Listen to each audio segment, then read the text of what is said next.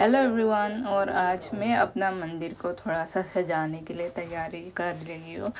और मुझे किचन में ही करना पड़ा क्योंकि मेरा जो बच्चा है वहाँ पे करने नहीं देगा। सारा कागज़ एक तो उसने फटा दिया। तो मुझे नहीं लगता है मेरा ये पूरा कंप्लीट हो पाएगा, पर जितना हो पाए उतना मैं कर रही हूँ किचन में छुप छुप के। क्योंकि उसको सारा कागज़ फाड़ दे रहे तो मैं आज अपनी मंदिर को देख के थोड़ा सा बोर हो गई हूँ, क्योंकि मेरा जो मंदिर है वो ब्लैक ब्लैक हो गए और मैं पिछले एक साल से मंदिर को चेंज भी नहीं किया।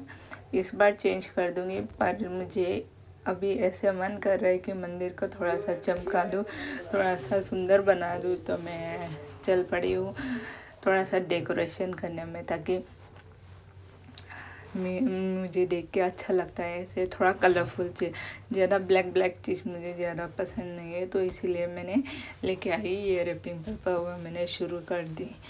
तो देखिए आप लोग भी कैसे हो, होता है, कितना, जितना तक तो हो पाते उतना तक तो करती हूँ। फिर बाद में दूसरा ला के फिर बाहर बाहर लगा दूँगी। आज जितने से हो पाए उतना ही लगा पाऊँगी क्योंकि मेरे बच्चे ने एक तो फाड़ दिया जो ये पेपर है। तो मैं लगी पड़ी हूँ जल्दी जल्दी में करने में ताकि वो बाहर से रो भी रहा है दरवाज़ा से देख देख के। तो मुझे ये जल्दी कंप्लीट करना है और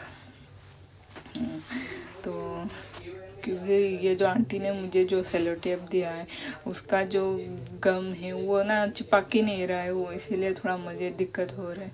क्योंकि जो सेलो टेप है, वो काफ़ी अच्छा क्वालिटी वाला नहीं दिया उन्होंने तो वो चिपक नहीं रहे ढंग से। पर जैसे भी हो, मुझे अपना काम करना है, निपटा दिया मैंने।